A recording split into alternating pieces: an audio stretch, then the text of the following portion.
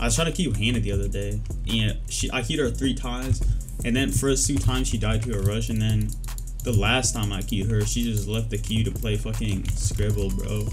Or not Scribble, Wordle. She was gonna play Wordle. Which she did, but she just wasted my time. And I'm like pissed. Bro, what is he doing, bro? Bro, why do people play like this? It's so weird. Like, why? Bro, this is my base. To void. I think my bed's gone. Bro, is it this hard to play fucking normal bed wars, bro? Like, why are people so weird? I guess we're doing the snipe bedless. Oh, we gotta get red out quick before they kill him.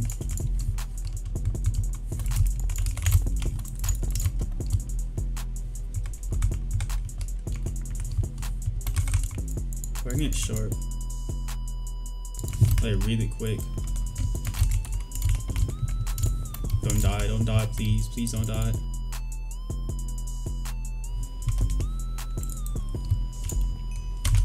Well, at least I, I got him like that. Oh, he was cheating.